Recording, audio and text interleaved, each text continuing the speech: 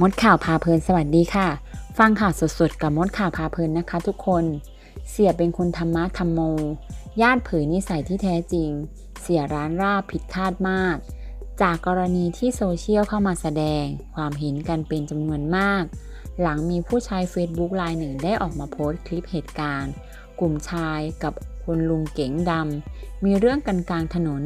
แถมรุมและไม่มีคนเข้าไปห้ามอีกด้วย นายบุญฤทธิ์ภูมิการหรือน้อยอายุ 65 ปี เพื่อนบ้านเปิดเผยว่า ตนเองเห็นนายบิ๊กมาตั้งแต่เล็กจนโต นายบิ๊กไม่เคยมีนิสัยเกเร หรือสร้างปัญหาจนขึ้นโรงขึ้นพักแต่เหตุการณ์ในวันนั้น ดังกล่าวครั้งแรกที่เห็นคลิป ก็ไม่เชื่อว่าจะเป็นนายบิ๊กพอรู้หลังปรากฏภาพในข่าว ยังรู้สึกตกใจ เชื่อว่าอาจจะมีชนวนเหตุบางอย่างที่ทำให้เกิดอารมณ์และความฉุนเฉียว ปกตินายบิ๊กจะเป็นคนที่ชาวบ้านรัก เพราะเจ้าตัวมักช่วยเหลืองานในชุมชน จัดงานทำบุญชุมชน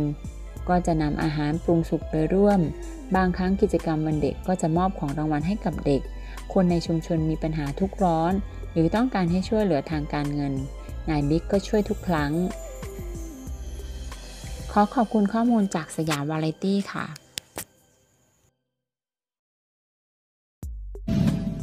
ถ้าเพื่อนๆชอบคลิปนี้ ฝากกดไลค์และกดกระดิ่งติดตามได้ที่ช่องมดข่าวพาเพลินด้วยนะคะ ขอบคุณค่ะ